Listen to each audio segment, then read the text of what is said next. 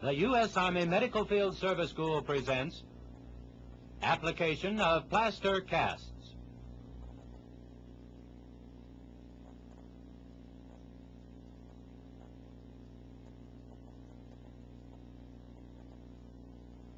The purpose of this program is to expose you to the principles, equipment needs, and duties of the operating room specialist in cast application. In the majority of operative procedures that require plaster casts, the surgeon will apply the cast, or a specialist specifically trained in cast application. Upon completion of the operative procedure, the sterile dressing was applied and covered by a layer of sterile web roll. The sterile drapes were removed and the cast cart brought into the operating room. The operating room table and floor were covered with brown paper to protect these areas from plaster spatterings. Since the scrub specialist has to maintain his sterility until the patient is removed from the operating room, it will be necessary to procure the assistance of an additional specialist. In the simulated procedure that you will see, the patient has undergone a tendon repair, which will necessitate a mobilization of the hand and wrist through the application of a short arm cast.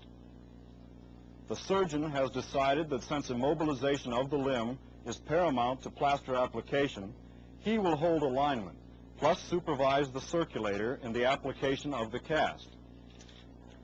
The assisting specialist will aid the circulator by passing padding, web roll, and preparing and passing the plaster. The surgeon is now positioning the hand and wrist in proper alignment.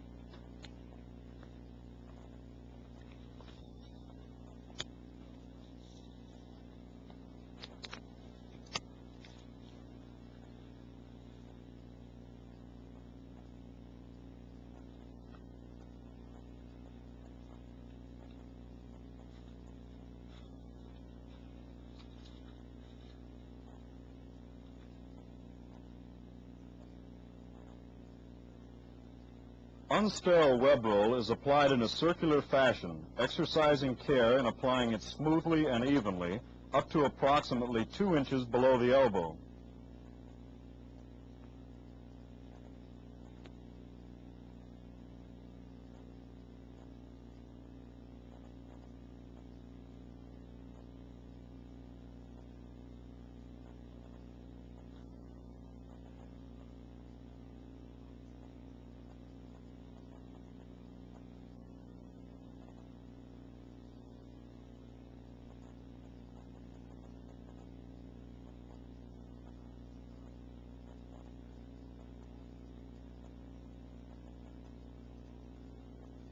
You will note that in this instance we are using extra layers of web roll to pad the bony prominence of the wrist.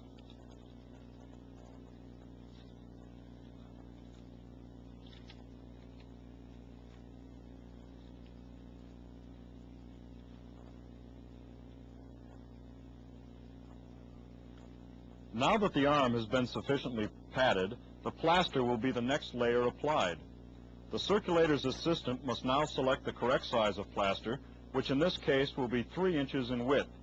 The wrapper is removed, and a small tab is made in the exposed end of the plaster roll. The specialist has already prepared a bucket of tepid water. As you remember from your classroom instruction, cold water will cause the plaster to set much too slow, while on the other hand, hot water will accelerate the setting rate of the plaster. The circulator's assistant will now immerse the plaster roll into the tepid water in a vertical position. Note the bubbles emerging from the roll. This denotes that air pockets are being expelled from the roll. When the bubbles diminish, the roll is ready for application. Removing the roll, the water remaining in the roll will be expelled by a gentle pressure on the plaster. Observe that while the specialist is expelling the water, he has secured the tab with the thumb and index finger of one hand. This roll is now ready for application. The plaster roll is passed to the circulator with the tab extended. The circulator will now apply the plaster starting approximately one half inch from the edge of the web roll on the palm portion of the hand.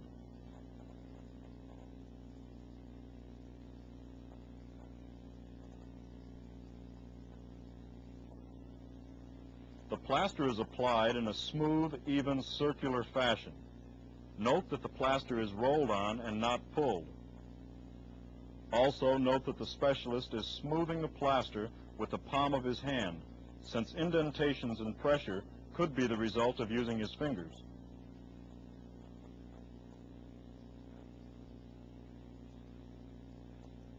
Once one half the roll has been applied, the circulator's assistant will now prepare the next roll of plaster.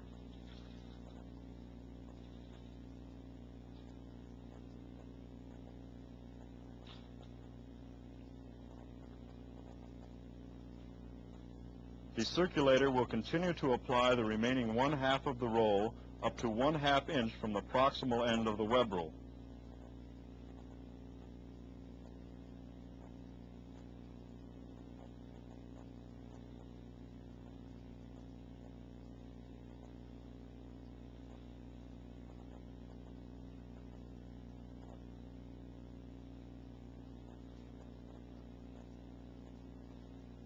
As the second roll is being applied, the excess one-half inch of web roll is folded over and incorporated in the cast with the remaining plaster.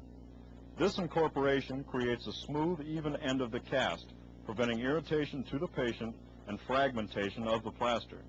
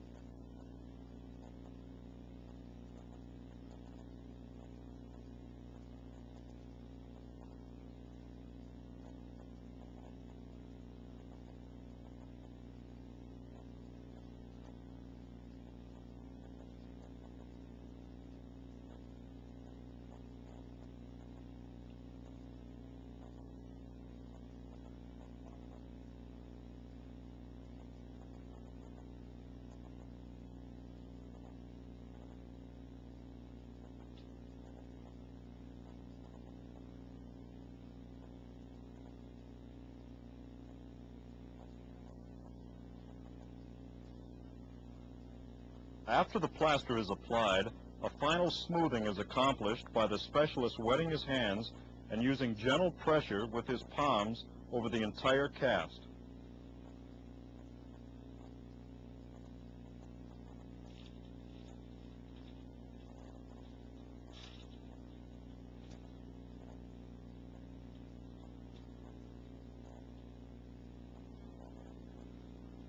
Any excess plaster around the thumb opening would be trimmed.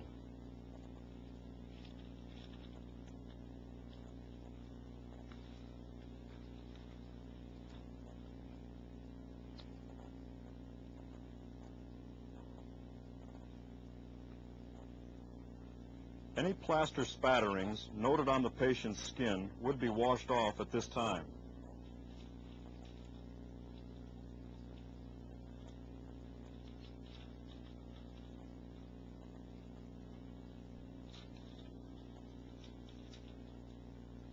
After a brief period to allow for initial drying of the cast, the patient may be removed to the ward.